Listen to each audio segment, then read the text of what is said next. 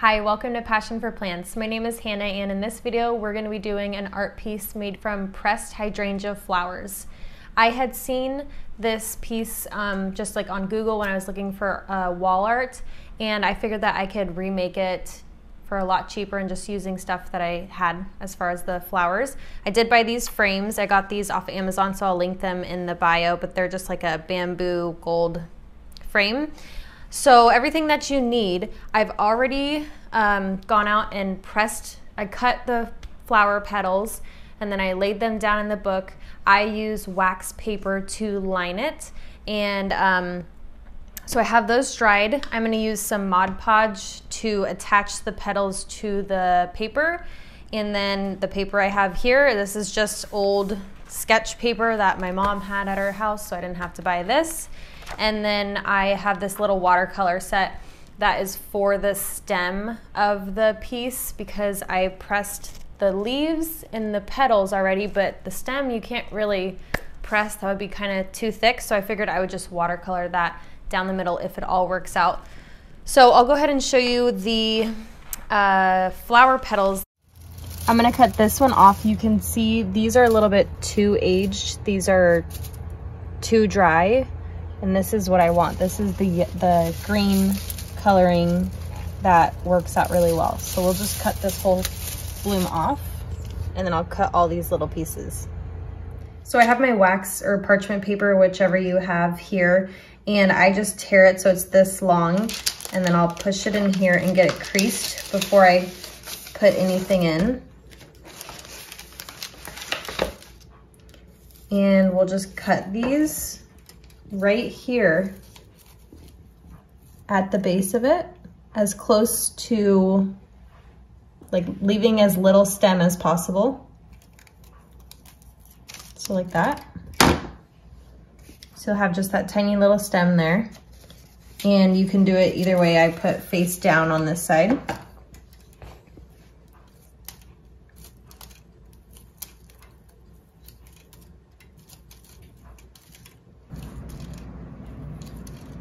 So you'll just lay them all face down as best as you can. And they're not gonna all be perfect. Sometimes you'll have curlier ones like this, which will be a little bit harder, but hopefully it'll go flat when you close the book. Okay, now we'll just slowly close. Get these in here. And you'll let this sit for a couple weeks or however long you need. So these are how they turned out. I really wanted the green ones. So instead of using the newer like blue or pink uh, flower petals when they're freshly blooming, I waited until they aged a little bit. And um, yeah, because this is the color that I wanted and I'm really excited. I love how these all look. So I will take all of these, lay them out so I can see how many I have. I'll show you also the leaves that I pressed.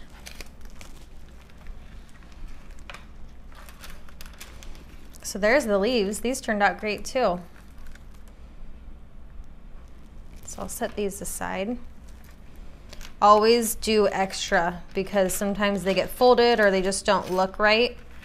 So I always give myself lots of extra to work with. And these I just cut from the flower. I just picked right off the stem straight from here and just again put them in wax paper and close the book and it's been I don't even know how long a couple months.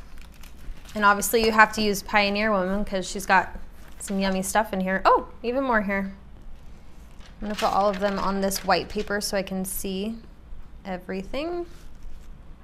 The reason you put wax paper is because sometimes they'll stick to the pages if you don't have something protecting them. You can still pick them off but just a little bit more work and then you can see these here are upside down because they're a little bit lighter colored and this is right side up. Depends on what you want, but I would like them to be, oops, a little bit more colored. So I'm gonna turn these all over. I have the paper all cut, so all I did for that was take apart the frame and then I took out the insert that was already in there, the mat, and I traced that with a pencil and then I cut it out so that I have the correct size so that I don't have to cut it out after. So we have this all here and I wanted to let people know that this doesn't take a whole lot of artistic talent because I was going through some of these from when I was younger and um, this I was 12 when I drew this. Uh, here's my artwork here. So one would say I am not too artistic. The proportions we didn't quite figure out, and I still would probably dry or color draw just about like this. So doesn't take too much um, artistic skills. Yeah, a little scary. She's got about 50 teeth in there, but it is what it is. I wanted to show you guys also really close the difference of um, the front and the back of these. So this is the front here, and when I turn it over, you can see the tiny little stem that it came from right there. So you can just tell this has the brighter color over here and that's, that's what I want. Uh, tweezers are really good. I forgot to mention that in the beginning. So now I'm just gonna kind of lay this out. I wanna divide this into three so that I have the same amount for all of them. So I'll do that and kind of lay it out and just eyeball how I want this to look before I start gluing because then there's no going back.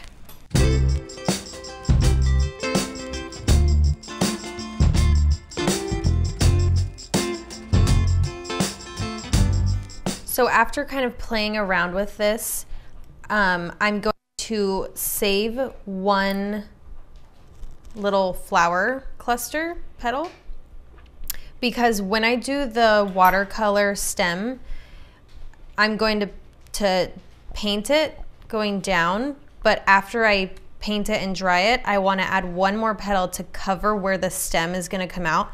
So it's not just like I'm painting up into this petal or over it or something so that you can place this over where the stem would be so that it looks nice and polished.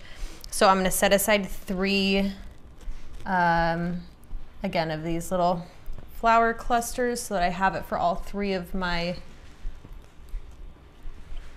art pieces. And now I'm just gonna turn this over. This was my practice. And then I'm just gonna do it up here. I have them all here and I'll just take it and go.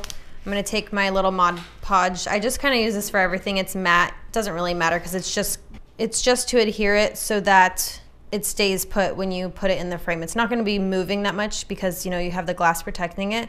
So we'll leave it like that. All right, I'm just going to pour this into my lid so I have a little bit.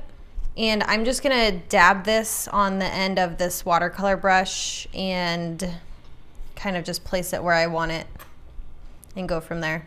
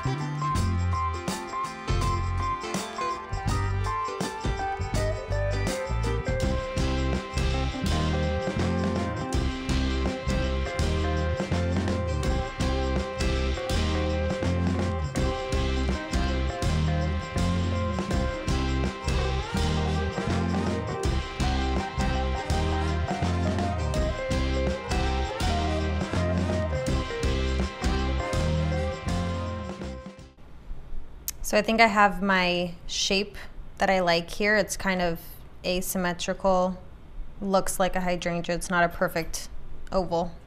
So I'll add my top layer here now to fill in a little bit of these gaps.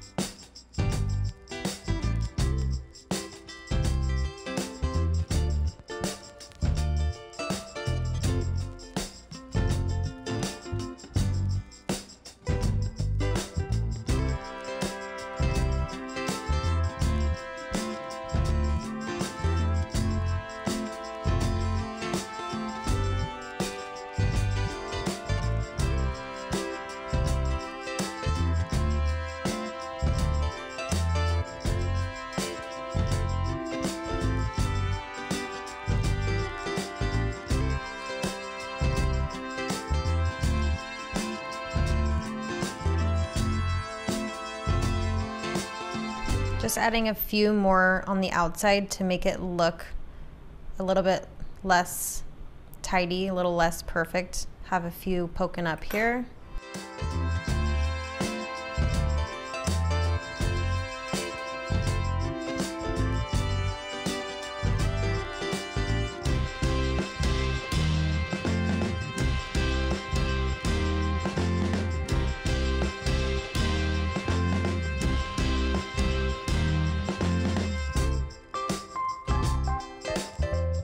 Look at that. That's looking good. Now we'll take the leaves. Now with these, I'm gonna be really careful with the uh, with the Mod Podge and not to put it on this because this is like tissue paper, like thinner than thin tissue paper. So I'm just gonna put it here just so it sticks enough because the glass, when it's in the frame, will hold it down. So kind of just want it like that.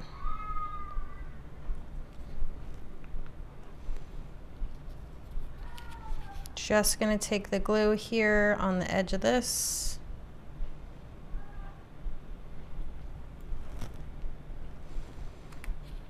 And I'm going to slide it under this just a little bit.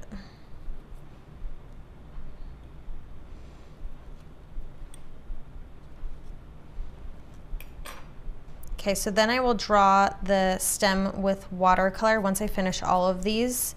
And then I'll take the last little petal arrangement that I saved and I'll put it over where I'm drawing the, um, the stem.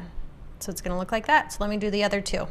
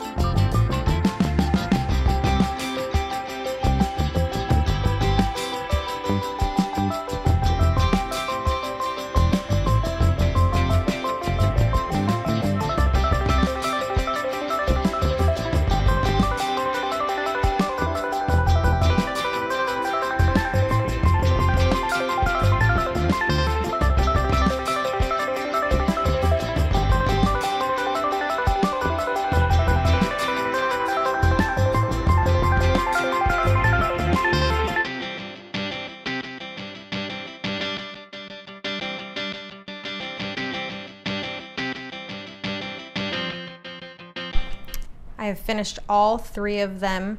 Um, I think they turned out really, really good. I like that they're all a little bit different. So now I'm gonna take my watercolor and make a color to kind of match the leaves here and just draw the stem.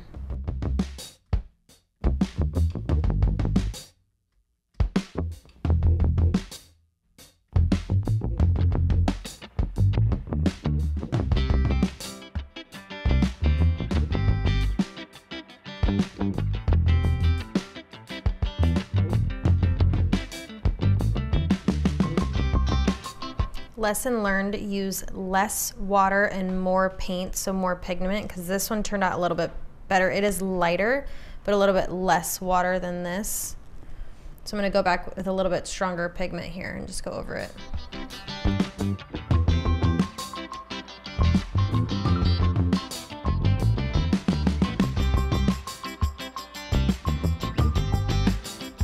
So there we go. That one looks good there. So let me just touch these up over here.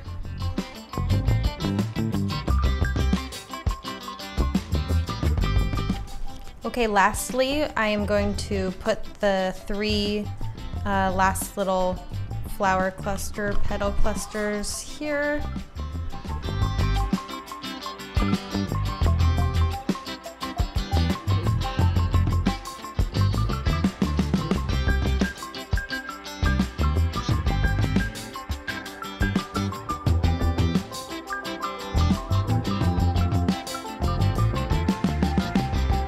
Here is the finished product. This project was so easy to do as long as you have hydrangeas or you have a friend that'll let you cut them. You can dry them with some wax paper and then just glue them onto whatever kind of paper you have. Paint some a stem or you can dry a stem too, that would work.